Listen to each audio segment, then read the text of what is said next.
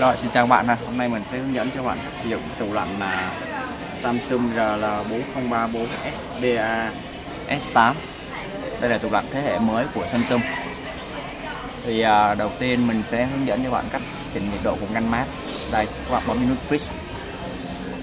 Đó, ngăn mát sẽ nhiệt độ từ 1 tới 7 độ C ha. Còn đây là chế độ của ngăn à, đá. Đây, bấm đây âm 19 nhiệt độ từ 15 tới âm 23 độ. Đó. còn đây là chế độ vacation là chế độ kỳ nghỉ. Đây ha.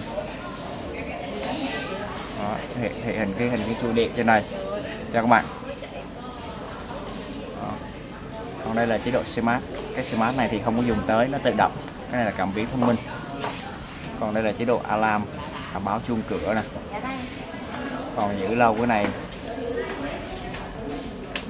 thì nó sẽ là chế độ làm à, làm power free tức là chế độ làm đá làm đông nhanh à. Đó. rồi cảm ơn các bạn